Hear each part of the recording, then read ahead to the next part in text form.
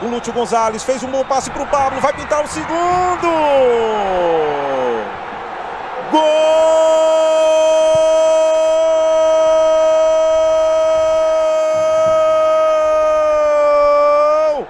do Atlético. De novo ele. De novo Pablo. O Lúcio Gonzalez roubou a bola ali para cima do Euler. Fez o passe de primeira e um toquinho com categoria. Tocou fácil ali para o gol. O Pablo, segundo gol do Atlético Paranaense, segundo de Pablo na partida. Primeiro enaltecer a categoria do Pablo, né? Tranquilidade na frente do. Olha o Ruiz. Pé direito. Bola para a área. Olha o chute de primeira. Gol! Chegou batendo de primeira. E que noite para golaços do esporte.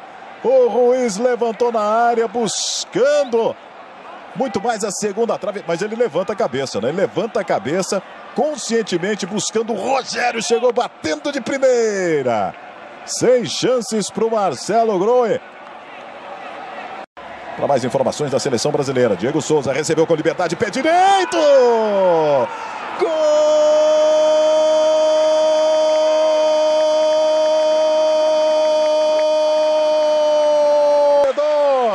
Ao Diego Souza.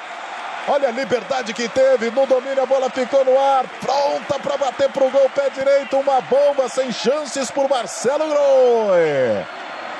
Que utilização para usar o número 10. Por isso ele usa essa camisa número 10 aí. E aí vem Rafael Veiga, chute de longe, olha o gol! Gol! Dominou, pegou ali a sobra.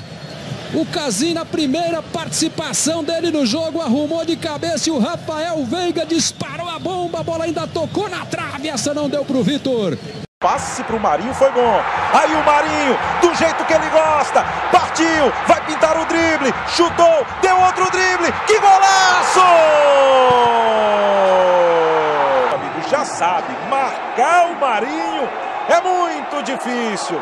Ele saiu em velocidade. Aí, vai pintar o chute? Não. Ele dá um drible. Vai pintar o chute? Não. Outro drible. E aí, um toquinho de categoria sem chances para o Everton. Marinho, camisa número 7, põe o Vitória de novo na frente no bar.